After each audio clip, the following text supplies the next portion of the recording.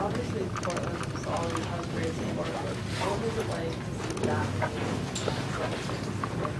I mean, it was amazing. Um, I, I think we broke records tonight. It was just incredible to be part of that and to see all the fans and the cheering and it's always awesome, but this was an especially um, great, you know, environment tonight. With the, with the game at Holland, I know we kind of talked about you guys not having performance you wanted to have. You guys have to obviously playing them so quickly in a turnaround. How do you think you from this game into Sunday?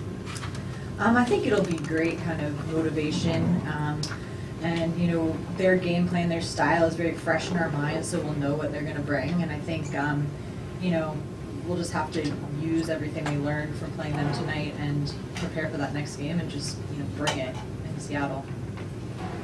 Do you think that having integrated players in the lineup kind of impacted your?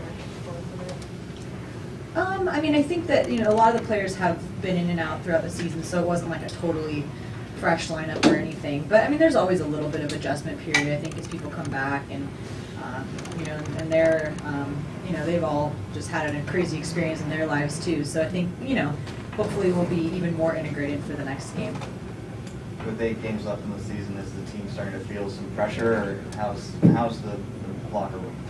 Yeah, I mean, definitely. You know, we need we need to get results, and that's our goal. And um, yeah, that definitely kind of weighs on us, and is something that we have, you know, feel a lot of responsibility to get those wins.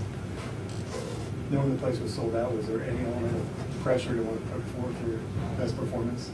For sure. I mean, I think you know we really we want to win for our fans, and and then we don't. It, it's just we we feel really disappointed, and you know we feel bad because our fans give so much and they support us no matter what. You know, and we we want to win that much more for them. Any last questions? Thanks, Rachel. Right. Thanks, guys.